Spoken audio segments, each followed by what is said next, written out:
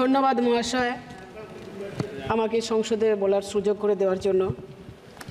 টি ঠাকুর রামকৃষ্ণ মাস রাধাকে প্রণাম। আমি আরামবাগ লোকসভাবাসীর কাছে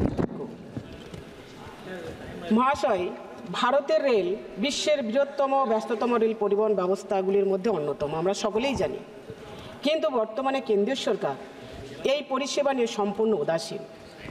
কীভাবে দিনের পর দিন রেল দুর্ঘটনা ঘট, বেড়ে চলেছে তা নিয়ে কেন্দ্রীয় সরকারের কাছে কোনো সদুত্তর নেই। একথা সত্য, রেল সুরক্ষা নামে মানুষের জীবন নিয়ে ছিনিমিলি খেলা চলছে। মৃত্যুর মিছিল ডাকাতি রাহাজানির মতো ঘটনা ঘটছে প্রতিনিয়ত। যাত্রীদের নিরাপত্তা দিতে ব্যর্থ কেন্দ্রীয় সরকার। যাত্রীদের নিরাপত্তা, রেল পরিষেবার গুণগত মান অত্যন্ত খারাপ হওয়া সত্ত্বেও প্রতিদিন সংসদ ভবনে শোনা যাচ্ছে যে একশো পার্সেন্টই কাজ হচ্ছে, সব কাজ হচ্ছে। মানবিক মুখ্যমন্ত্রী মমতা বন্দ্যোপাধ্যায়। মহাশয় যখন রেলমন্ত্রী ছিলেন, তখন যতটা কাজ হবার হয়েছে, তারপর থেকে আজও কাজ স্তব্ধ হয়ে রয়েছে। যেমন তারকেশ্বর থেকে বিষ্ণুপুর ডানকনি থেকে ফুরফুরা শরীফ, এইগুলো কি একশো পার্সেন্ট কাজের মধ্যে পড়ে না? মাননীয় মন্ত্রী মহোদয়ের কাছে আমার বড় প্রশ্ন। আরামবাগবাসীর যোগাযোগ মাধ্যমকে উন্নত থেকে উন্নতর করার লক্ষ্যে অবিলম্বে ভারত প্রতীক রাজা রামমোহন রায়ের জন্মস্থান খানাকুল থেকে। বর্ণ পরিচয় স্রষ্টা ঈশ্বরচন্দ্র বিদ্যাসাগরের জন্মস্থান বীরসিংহ পাঁশকুড়া পর্যন্ত এবং আরামবাগ থেকে বর্ধমান পর্যন্ত নতুন করে রেললাইন পরিষেবা চালু করা হোক মন্ত্রী মহোদয়ের কাছে আমার এটা আবেদন। লোকাল ট্রেন কারণে অকারণে যখন তখন বাতিল হচ্ছে। নিত্য যাত্রীদের দুর্ভোগের শেষ নেই। তাই যাত্রীদের প্রতিনিয়ত ক্ষোভ লেগেই থাকছে। প্ল্যাটফর্মে মহিলাদের জন্য যথেষ্ট শৌচালয় নেই, রয়েছে পানীয় জলের অভাব। কিছু কিছু স্টেশনকে মডেল স্টেশন ঘোষণা করে মিথ্যা গিমিক করা হচ্ছে। বাস্তবে পরিষেবা বলতে কিছুই নেই, পরিষেবা নামে চলছে প্রফেশন বর্তমানে রেল বাজেট ততটাকে গুরুত্ব দেওয়া হয় না, কারণ সাধারণ বাজেটের সাথে জগা খিচুড়ি করে দেওয়া হচ্ছে তার কারণ আমরা দেখতাম আগে রেলের জন্য একটা বাজেট আলাদা করে থাকতো।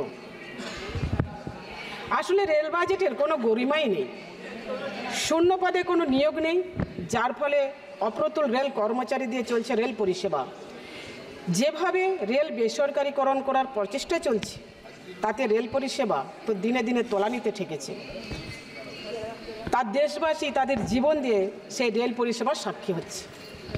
গত তিরিশ সাত জুলাই ভয়াবহ দুর্ঘটনা ঘটেছে হাওড়া মুম্বাই মিলে। আঠেরোটি বগি লাইনচ্যুত হয়েছে এবং সাধারণ মানুষেরও প্রাণহানি ঘটেছে। এটা অত্যন্ত লজ্জাজনক। যে রেল ভারতবর্ষের গর্ব ছিল, আজ সাধারণ মানুষের কাছে আতঙ্ক হয়ে দাঁড়িয়েছে। আসলে পরিষেবা দেওয়ার নাম করে যাত্রীদের থেকে বেশি বেশি করে টাকা নিলেও পরিষেবা দিতে পুরোপুরি ব্যর্থ। অ্যান্টি কলিশন ডিভাইস মানে আমরা যাকে রক্ষা কবচ বলছি, শুধু শুনেই যাচ্ছি, বাস্তবে তা কিন্তু ডুমুরের ফুলে বাস্তবিত হয়েছে। কবচ যদি থাকতো, তাহলে এত দুর্ঘটনা ঘটতো না। হালির ধূমকেতু দেখা পাবার নির্দিষ্ট সময় আছে, কিন্তু দুর্ঘটনাবিহীন রেলযাত্রা কবে হবে, তা কোনো নিশ্চয়তা নেই। ঘটা করে নিত্য নতুন ট্রেনের মড়কে মুড়ে ফেলা মানুষকে বোকা বানানোর কাজ চলেছে। কতদিন চলবে, মন্ত্রী মহোদয় একটু বলবেন? এত শূন্যপদ থাকা সত্ত্বেও নিয়োগ নেই। কর্মীর অভাবে ঘটছে দুর্ঘটনা। রক্ষীবিহীন লেভেল ক্রসিং আজও রয়ে গেল। কোনো তার উত্তর আছে? কোনো উত্তর মেলেনি। কেন্দ্র সরকারের অবস্থা আজ রেল পরিবহন অবস্থার মতো হয়ে গেছে। রেল যেমন আজকাল যেখানে সেখানে যখন তখন লাইন লাইনচ্যুত হয়ে পড়ছে, ঠিক সেই রকম ভারতীয় জনতা পার্টি কেন্দ্রীয় সরকার আজ দিশারা হয়ে জনসাধারণের কাছে বিচ্যুত হয়ে পড়েছে। বিভাজনের রাজনীতিতে মত্ত হয়ে গদি বাঁচানোর জন্য বাজেট পেশ করা হলো। জড়াতালি দিয়ে এই সরকারের পতন কিন্তু অবশ্যম্ভাবী ভারতবর্ষের মানচিত্রে পশ্চিমবঙ্গ কিন্তু উল্লেখ আছে। কিন্তু বাজেট মানচিত্রে পশ্চিমবঙ্গকে বারবার বঞ্চিত করা হচ্ছে।